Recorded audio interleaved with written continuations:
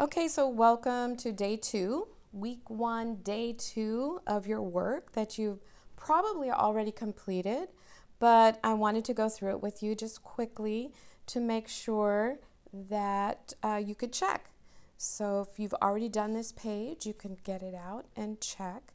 We're going to be writing Q, U, and you'll remember last time we talked about Q having a helper, and that is always going to be you.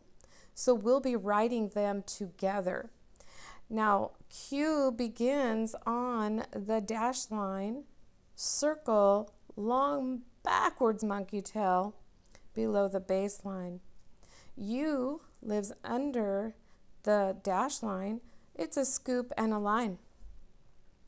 So queen begins with the sound qu and so we are writing QU, so you would have traced that.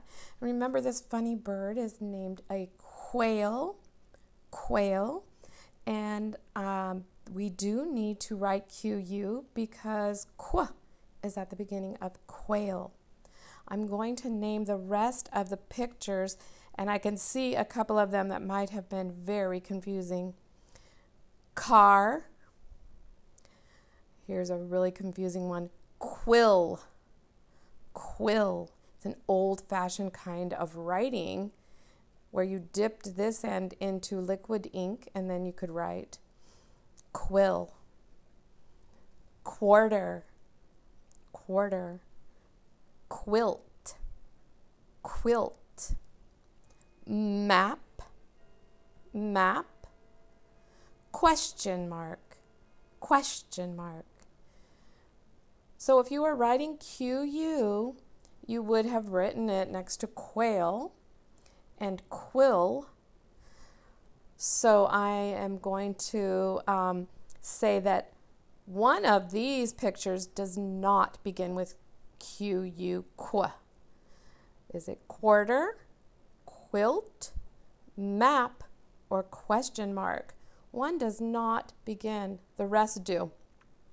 And if you said map, you're correct. That begins with mm. So you would have had written QU for all of these.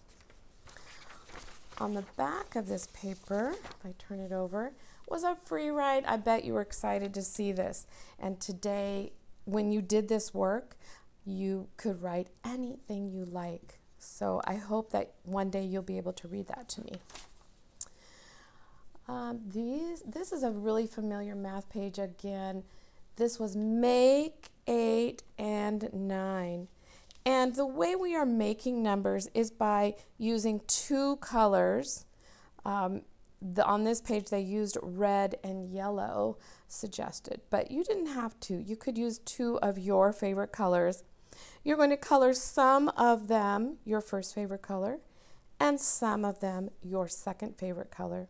And then you will see that if you colored four in red and then you would have four to color in yellow, and four and four make eight.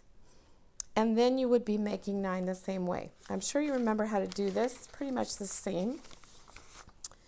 So we are making eight and nine. We're getting to be big numbers. So we do not have to color all the picture when we have so many. Um, this one is given to us an example though 1 and 7. So we know that one of these must be colored our first favorite color. And in this case, you could just color the wheels or the hood or something. And 7 will be colored our second favorite color because 1 and 7 is going to make 8. So that's one way to make 8 then trace the numbers to practice. Just heard my clock gonging. um, for number four, we're going to make nine. So we are going to have nine flags. Let's count one, two, three, four, five, six, seven, eight, nine. And we need to color to match these numbers six and 3. The first number will be our first favorite color. We're going to color 6 our first favorite color. And you could just color the flagpoles for this one. So one, two, three, four, five, six would be our first favorite color. And then we do have three left for our second color. One, two, three. Then trace the number. Now here, number five is asking you to find another way to make nine. We have nine pennies here, and you're going to choose two colors. Remember, it must be different from this first number. It cannot be six.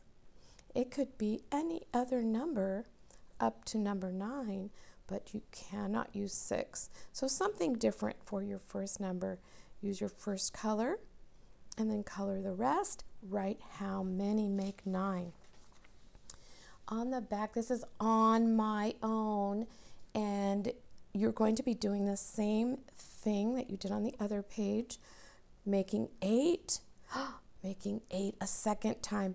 These need to be different ways. So if you use three for your first uh, number, then this first number cannot be three. You need to choose something else. Now for this page, I'm going to say that if you haven't done it already, and when we get to making 10, you can just put X's in your first favorite color and then X's in your second favorite color. Just make sure you can see them and count them. Don't make them messy because you're still going to need to count how many in order to write the number here. Then make 8 a different way. So this number will be different. And finally make 9 the same way. Easy peasy. All right. So this one is problem solving.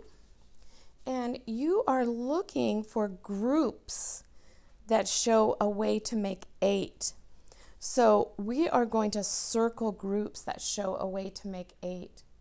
Now, one of the secrets to this is are there eight objects in the group?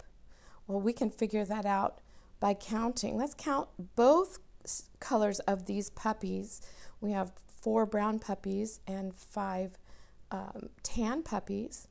And let's count those. One, two, three, four, five, six, seven, eight, nine puppies altogether. So that is not a way to make eight, but later on it will be a way to make nine. Let's look at the trees. We have light green trees and dark green trees. Let's count how many trees there are. One, two, three, four, five, six, seven, eight. This picture does show a way to make eight because it has eight objects and it shows it as four and four. Okay, so let's move on to groups of nine. We're putting X's on groups that show a way to make nine. And one way that we already saw was the puppies. The puppies make nine, so we would be putting a big X on that group. And the way this shows to make nine is four and five. Now here's a group of picnic baskets. Here's a group of squirrels. And here is a group of bicycles that is a little bit tricky because here is the first color of bicycles one, two, red bikes. And then the rest are going to be blue bikes. So if this is a way to show eight, count them all and then circle it. If it is a way to show nine, put an X on it. You'll need to count all the bikes and then it is showing a way to make eight or nine. You are going to show that. These are some vocabulary cards. Um, the words on the back you're going to trace like you always do, and then you can know the word, which this is that weird word eight, by counting how many dots altogether one, two, three, four, five, six, seven, eight, and it's going to show you how many. Then you can practice reading the number words from four to nine. So that's it for um, your worksheets for today. Remember to look at also your new fast as a snap words, and I'm going to show those to you in our little book here.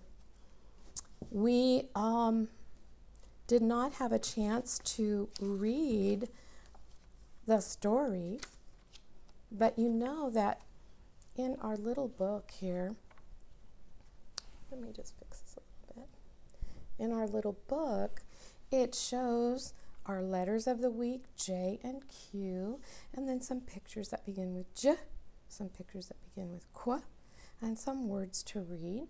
Um, and here is our new fast as a snap word. So here they are, and one of them is here.